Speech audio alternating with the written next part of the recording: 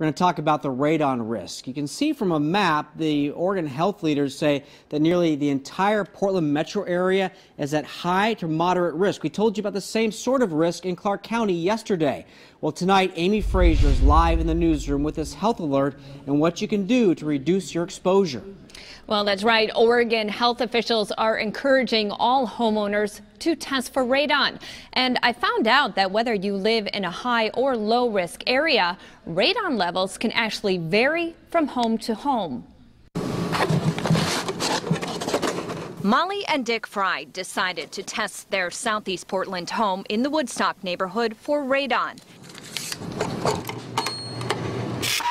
And they're glad they did. Evidently, there's a lot of trouble in this particular zip code. And uh, uh, so we decided it's better to be safe than sorry. They started with a home kit like this one, available at the hardware store for about 15 bucks. Something Oregon's radon coordinator tells me is easy to use. Basically, you take one of these test kits home, you leave it on your shelf for a couple of days. Usually it's about three to five days. At the end of that time frame, you send the test kit into the laboratory. Test results confirmed by professionals with Cascade Radon showed high levels of radon. Makes you a little tense. I found out radon is a naturally occurring radioactive gas that comes up from the ground and is drawn into buildings where it can build up to dangerous levels. Radon is the second leading cause of lung cancer in the U.S. after cigarette smoking.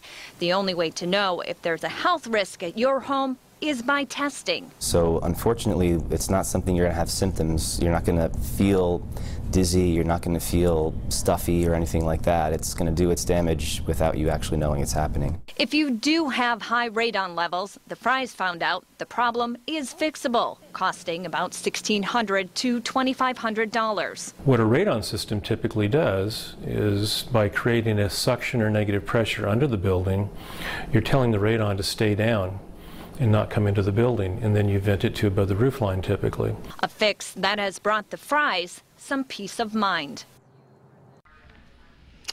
Now you can look up your zip code online to see if you are in a high risk area for dangerous levels of radon. We've put a link for you at KOIN.com. Reporting live in the newsroom, Amy Frazier, KOIN 6 News.